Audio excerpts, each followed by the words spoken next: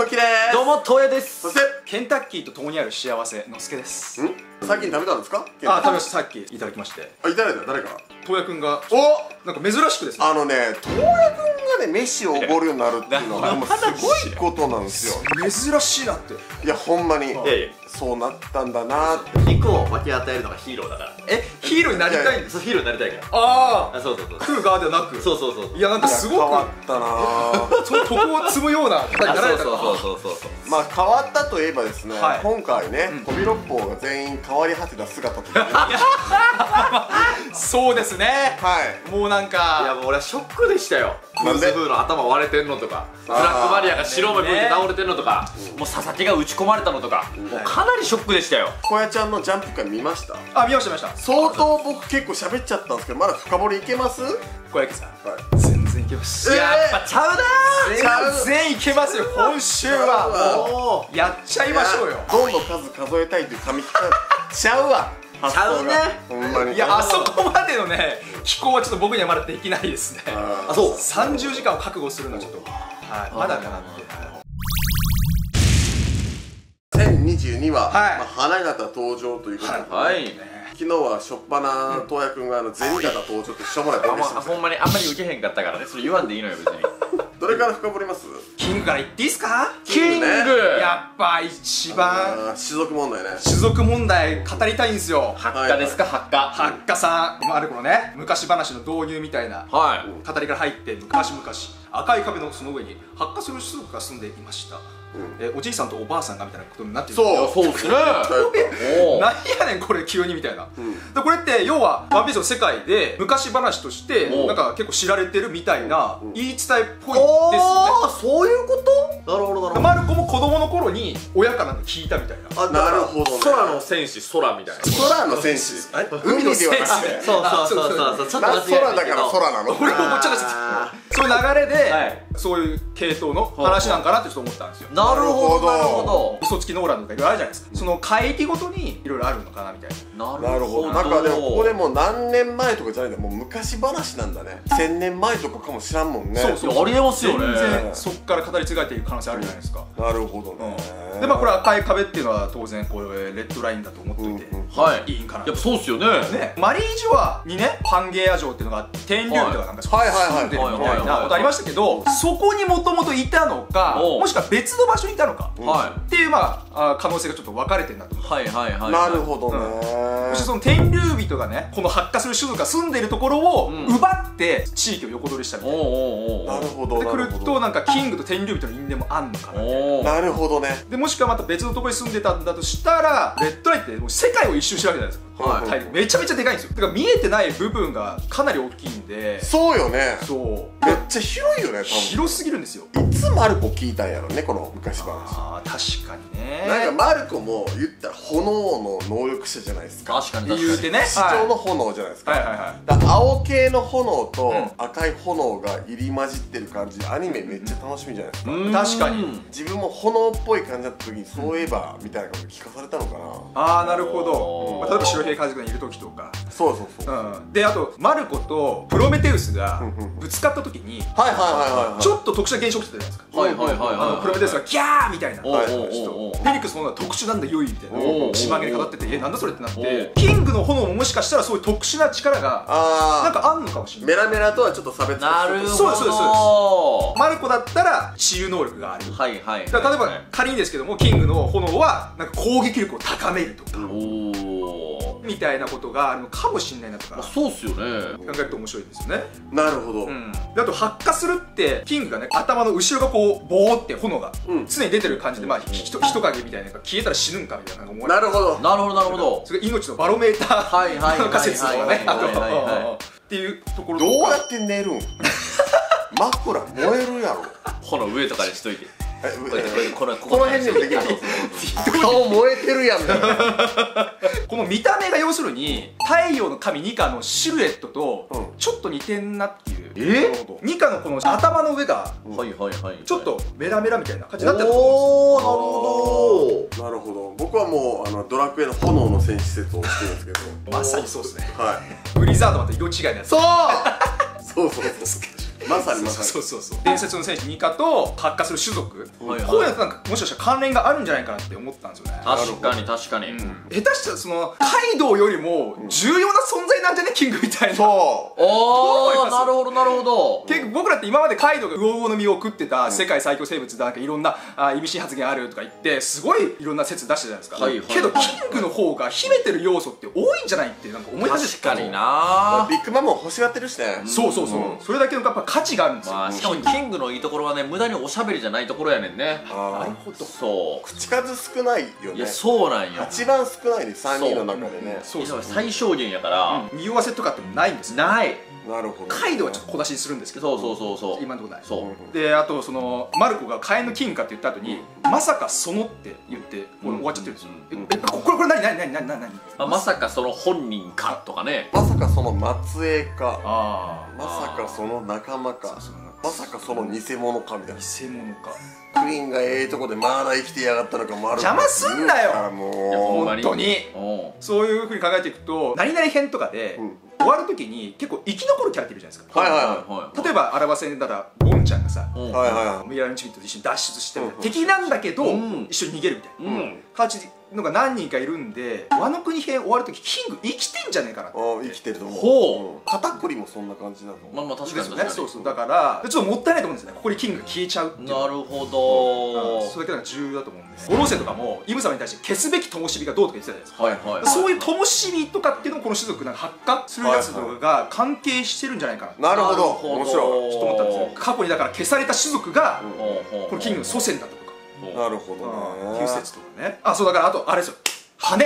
羽。この黒い。二人そう。おおまあ、この羽に注目するんであれば、うん発火するっていうことと、うん。この羽が生えてることってもう相性悪いっすよね。そうなんか羽燃えたらどうするんね。ほんまに。えこれはなんか例えば発火する種族がいました、うん。羽が生えてる種族がいました、うん。このハーフがキングなのかみたいな。っああー。なるほどね。なるほど。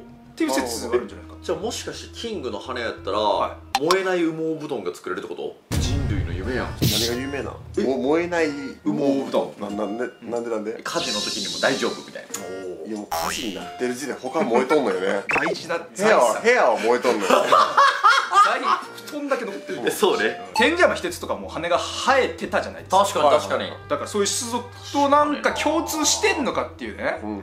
インペルダウンとの関わりもちょっとね、はい。まだ残ってますしね、うんそうそうそう。この黒い羽っていうのが、黒い羽、うん。なんなんやろうね絶対これを模倣して作ってると思うんだよなインペルダウンの監視たち。ああマゼランはじめね。あれはつけ羽なんですよね大体。そうなん大体そうですねおーうんそこもつながりがあるかもしんないと。なるほど。いうことですね。ねあの東役も動画出されてましたけど飛び六方うんうん。まあねはい。ちょっとまあ確かに確かそうそうそうにっていうちやられょちょっと弱かったなっていう。一味が強すぎんのよ。いやいやもちろんもちろんもちろんもちろんもちろん。もちろんそうですね。もちろんそうなんやけど悪魔とか出てきちゃってるからもう。うんうんうん。それはね語れへんよ。うんそうね鬼瓦政権とかね。うん。クーズフーがこれ倒されちゃったんではい。その代役としてなんかマルコが喋り始めたのかなとちょっと思ってますいやだからこれもう和の国に伝染するおしゃべり病なおしゃおしゃべりフェニックス。なるほどなるほどなるほを襲名したのかなってちょど。なるほっとど思い始めちゃって。であとホーキンス。はいはいはいはい。いや意外としぶてえなって。しぶとい、はい。あ切られてたよね。そうなんですよ。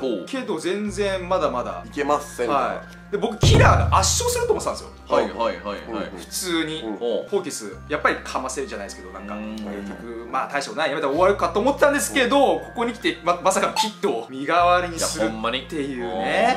でキットとローが今マムと戦ってるわけじゃないですそうかそうそうそう。これちょっとなんかこれやられちゃうと不利だなっていう、うん。ねえ。これどう解決します？展開予想として。そうですね。僕がちょっと可能性で思ったのは、能力者の能力ってうん。火に弱いっていうのがうん結構あったりするんですよ、例えばそのブラックマリアのね糸とかだと火でこううんうん。溶けたり、うん。うあするじゃないですか、はいまあ、燃やしたりすることで能力が解けるっていうのも一つあると思うんで、なるほどなるほど。ホーキンスの場合は切ったりこう銃で撃ったりしたらダメだけど、うん。燃やしたらうん。解除できるとか、あ燃え尽きる前にキットも燃え尽きひんあ なるほどなるほどなるほど。まずキットが全然火だるまになっちゃう可能性もあるんですけど。確かに確かに。そういう解除方法とかっていうのもあるのかなとはちょっと思ったんですよおなるほ塩とか振ったらいけるかもしれない、あもちろんで塩すり込めば。なんか清めの塩っていう意味。はいはい、はい、ありますねありますね。だからキラーのこの辺に塩塗ってからパサって切ったらいけるみたいな。ああなるほど。なるほどなるほど。じゃもしくはもうキラーがこのこれの回廊石板を作ってもらって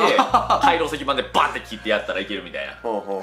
そうか回廊石ならいけるか。そうそうそうそう。あーまあね決着つくんかなっていうキラーとホーキンス確かに。なんか。ほうほう。あとはゾロとサンジ。最後のね。復活しましたけど、はい。ゾロなんか僕もうちょい見た目の変化がすごいあると思ってたんですよ。ああなるほど。最初薬によって。そうですそうです、はいはいはい。なんかミンク的な力を得んのかなああなるほどなるほどなるほそう思っどたんですよね、だから下手したら数論化に近いような形状になるかなと思ったんですけどまあ普通だったっていうでもここでも左目は描かれていませんよ。うわー。そうなんですよ。確かになねこれ引きね出しに見事で隠されてますからね。ねそう。意味深ですよね本意味当に深ですようんね。飛躍を中にされたことによって開眼しちゃうのかみたいな。はいはいはいはい。どうですか？ルフィが海賊王になる姿のシーン。来ましたね俺これめちゃめちゃ興奮して、はい。昨日のジャンプ界でもむちゃくちゃ喋ってたと思うんですけど、はい。はい。ゆくゆく考えたらゾロがこの「おいぐるぐるこの戦を制したらよう」のあとそれに対してああ見えてくるなルフィが海賊になる姿よく正解できたなと思って 確かにこれ分かんないですもんね。初めて一杯組み交わすかとか言っちゃう可能性がある 確かに。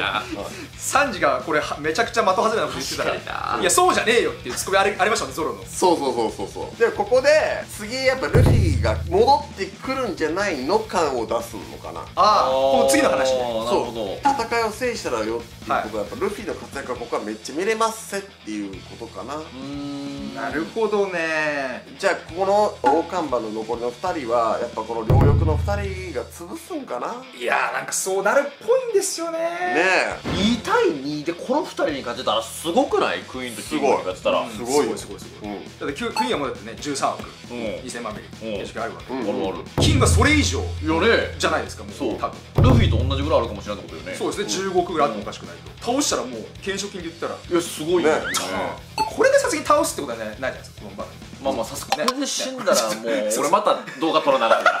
3歳が弱すぎっていうどうしてしまったお前たちっていう動画撮らないといけないから。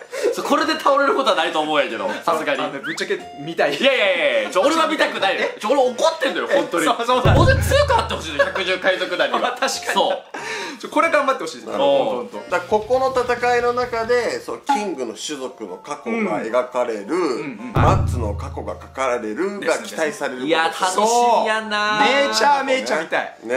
めちゃめちゃ。まあ、あとはねちょっと可能性薄いと思うんですけど、はいはい。下月家ってね実は違法出国した一族って言われてるんですけど、またそのなんかも。いやもうちょっとあのなんであれままだ笑うとこちゃうで。ういやもうそれなんかさワンピースつけ富名声って毎回聞かせて同じやんそれいやいや高まるでしょあれ。探せよロジャーの。いや高まるけど、まあ君らも笑いが高まってんだよ。あの SNS のくだりが全部そうそうちゃうのよ55年前に違法出国ね下月がした原因がキングにあるとかで下月家の深掘りもここで来るんちゃうんかなとか幸三郎とキングが実は知り合いでみたいな。そう。おお前その刀知ってるぞみたいな。幸三郎の刀だろみたいな。おしゃべりキングになっちゃうみたいなおしゃべりキングはいちゃう。まあ確かにキングね台頭してるんで。そうなんですよ。刀ありますからね。そうそうそうそう。種族的にめちゃめちゃ長生きな種族っていう可能性はまあいや全ありますよ然ありますよ。あはい。顔全然わからんからもしかしたらねそう。もう300歳ぐらいかもしれんから。クソおじいさん、うん。まあ、キングとゾロのね、うんとかの大川との戦いはまあそのマッチアップになるんじゃないかっていうところでまああとは戻りますけど大蔵と黒くじゅはいはいはいの戦い。これも過去編が書かれる気がもうプンプンしてる二人の過去編見たいですけどね、僕はどっちでもいいかなしてもいい。え？してもいいそうあんまり興味ない。なんで？めちゃめちゃ大事っすよ。そうそう。だってだって、うん。忍術ってめちゃくちゃ特殊な戦法なんです、うん。その謎ってめちゃくちゃ気にならないですめっちゃ気になるよね気になる気になる。気になる多分忍術学園とか通ってたと思うね二人とも。あー。ほど。そう。いい。がっかりしてメソメソしてどうしたんだい？みたいな。忍たまやねんなそれな。え？嫌じゃない？こいつらががっかりしてメソメソしてたら。いや兵庫第三共栄丸先生とかやっぱり。そうそう兵庫第三共栄丸先生も来てる。うん。分身の術をライドが使うときに、はい。巻物を加えてるじゃないですか。加えてる。でこれ巻き巻きの身の能力なのか、そう。忍法ってのは難しいんじゃないそうそうそう。いやそうそうね。どういうなんか使い分けなんていうのがすごい気になる。でもなんか小田先生の忍者とはこんなイメージだろうみたいな感じだと思うんですけどね。ああ。ね。確かにね。そうポーズとしてね。まあだから他の赤座屋がちょっと金右衛門とか菊とか芦屋童子が死んでんちゃうかみたいな描かれ方してるんでそうそう。これはちょっとやばいぞって感じしててほしいけどな。そうですね。なんだかんだ言って大天使の息吹みたいなの助かりますってしてほしいんよ、うん。なるほどなるほど。そうですね。超強力回復系能力者みたいな。まあまあソドムとゴモラも生きとったんでね。そう。和の国が開国されば報われるんやろうけどなんか俺報われないなと思って俺そうそう。思う大国を見届けてから死んでほしいよね。そうそう。うん。死んでほしい。あー確かに。死ぬんだからね。そうそうそうそうそう。まあ、後味がちょっとなんか悪いっていうのはそうね。若干あるんで、うん。そこは生きててほしいなってうん。思いますね、でもなんかあの芦屋童子久しぶりに見ましたけど、はい。肉体がバラバラになってなくてよかったなと思って。あ確かに確かに。そうダイナマイトでなんか普通は粉々になるんですよ多分ね。爆発資産してるちゃんと手足もついてるんで、うんうんうん。ワンチャン生きれる。確かに。ワンちゃん全然ありますよ、うんうんまあ、その横のワンちゃんも頑張ってますけど、うん。ワンちゃんね、うん。意外と粘ってるんですよ。ワンちゃんたちがね今週書かれなかったんでちょっと気になるところですけどね。うんうんうん。ジャックもねまだ大看板として生き残ってるうんんわりかしワノ国死んでるんで、は確かにな、ねこれはもうワノ国リベンジャーズということでいうわえ？ななんかリベンジする。だ誰がリベンジするんよ？タイムリープ？思うしかないな。もうもおもうタイムリープ。結構ちゃんと王道行きましたねありがとうございました。ありがとうございまあージャンプ楽しかったですねやっぱね。あっす。ね。はい、那須海鮮丼さんの方でも多分ジャンプのことたくさんもりもり喋ってると思うんで、すめちゃめちゃ言ってます。はい、ぜひ登録しに行ってください。ませお願いします。それでは See you バイ。肉を食いたい俺は小屋ちゃんクルーがこの夏アゲアゲ？楽しみいっぱい躍動感。クルーのみんなでもっと盛り上げて。TwitterLINE ライブ公式 LINE もやってるよ。フォローしてね。お風呂の前は？小焼きチャンネル